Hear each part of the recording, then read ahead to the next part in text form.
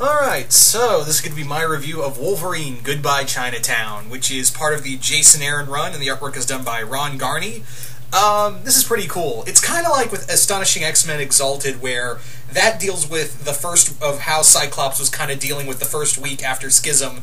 This is kind of what Wolverine was kind of going through after the events of Schism shortly after. This also kind of answers the question of how did Wolverine get the money to you know, rebuild a school in the other side of the country. Turns out that and Wolverine makes it very clear. I've been along for I've been alive for a very long time. You think I wouldn't have money stashed away?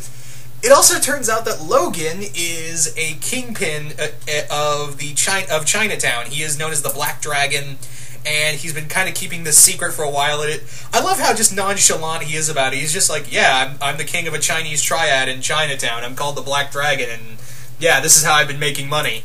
this is what kind of this. He said this is what funds everything I've ever done comes from this money. and I, here's the big thing I love about Jason Aaron's Wolverine series. It can be completely absurd and serious at the same time. He can go from absurd to dark and serious just at a drop of a hat.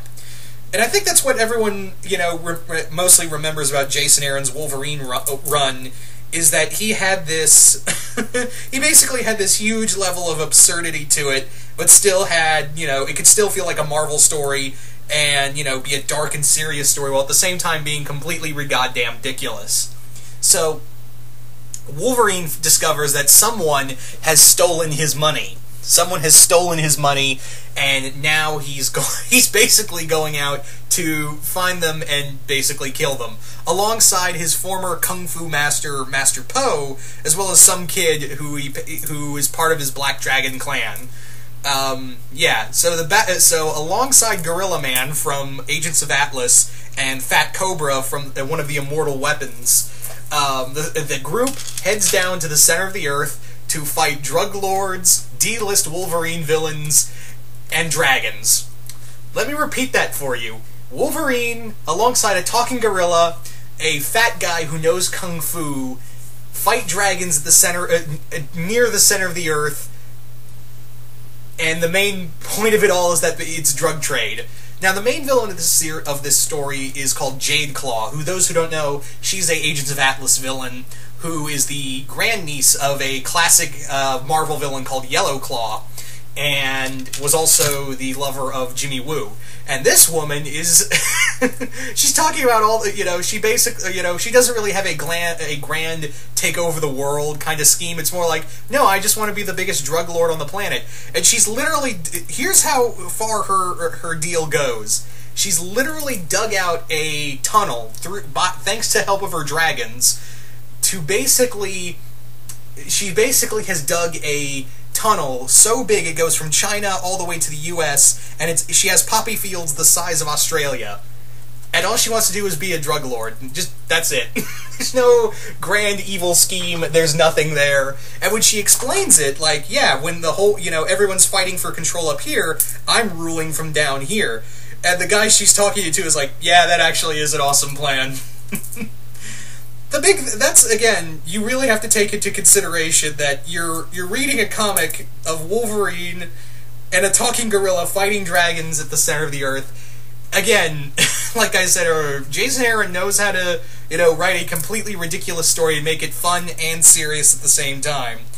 Um, I think this is towards the end of his Wolverine run, if I'm not mistaken. I think this is towards the end because this is right after the events of the Red Right Hand and him killing all of his his uh, all of his illegitimate children, of course, except for Daken, and he basically is kind of dealing with that in here.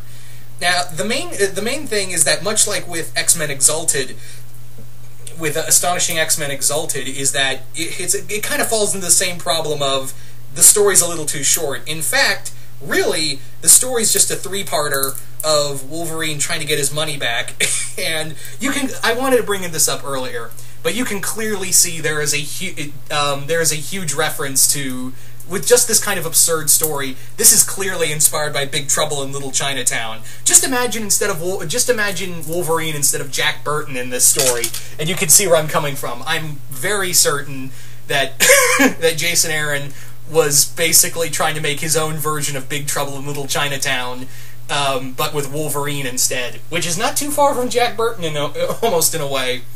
Um, all we're missing is a Lo Pan villain, and we've got it. um, but yeah, the story realistically only has three is only a three part story, and I feel like it should have been a little longer.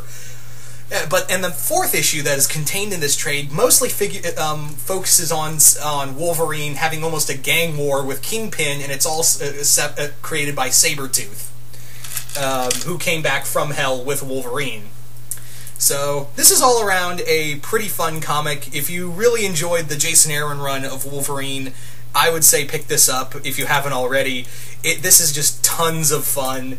Um, I think you can pick this up without you know really knowing too much about Wol- the Wolverine run, run, other than yeah, Wolverine and the you know the X Men have kind of had their own little schism, and now they're kind of separating. So that's really only the major thing in here.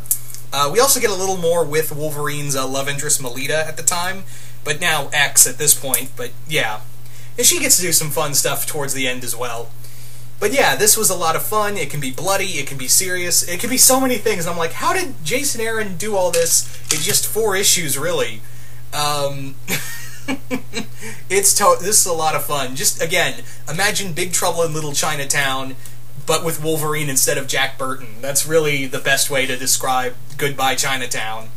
Anyway, so if you've read the comic, just comment below, let me know what you guys thought of it. And once again, hope you all enjoyed this review, and I will see you guys later.